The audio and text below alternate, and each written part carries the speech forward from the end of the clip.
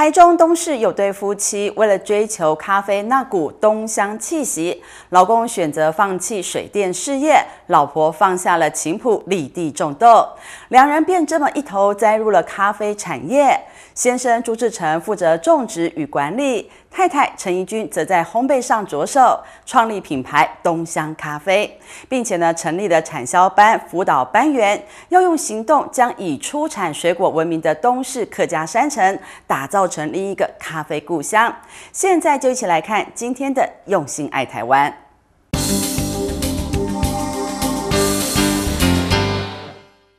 二十六岁之后。才慢慢有听到台湾哪边有人种咖啡，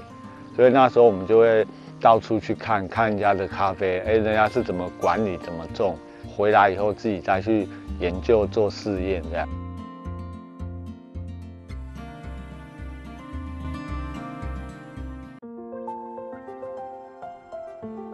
我是国中那时候就开始种咖啡了，是因为那时候。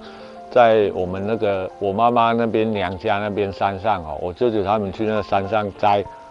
摘了一堆这种红红的果实回来，然后就直接拿那个烤箱，就直接烤烤，然后烤好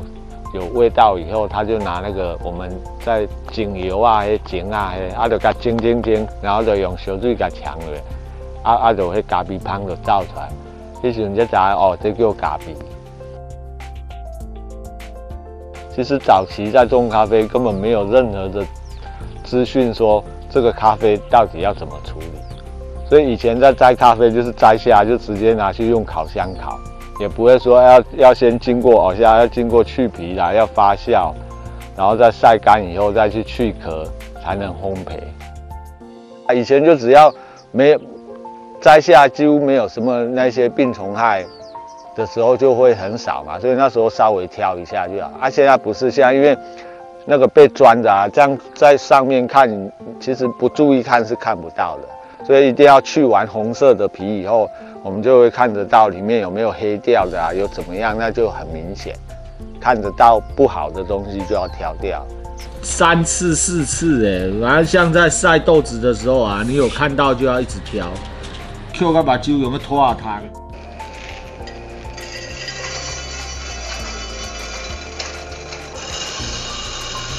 他都喜欢忙山上，而我就喜欢忙烘焙。其实一开始不是这行业的，嫁了我先生之后，因为先生也种咖啡，那我会觉得在东市的山上，你只会种咖啡，而且当初也不知道自己种的是咖啡。那我们可能就是都到古坑惠孙去学习。很多都说我们烘焙师最厉害，我说不对，最厉害的是农民。你没有生出最好的东西，我再怎么样烘我也不会好。那我们是种植不重量。咖啡它是一个不需要农药跟肥料，它是比较没有一些呃化学防治的部分。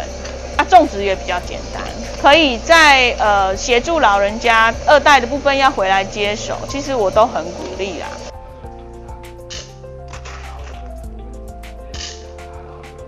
我以前开在铺子口，我的班员都要出去找我处开会。对，那后来我是为了这群老人家，所以我才搬回来。我希望是形成一个循环运作，就是有行销、有课程，然后有共同进步，共同的行销出去到更远的地方啊。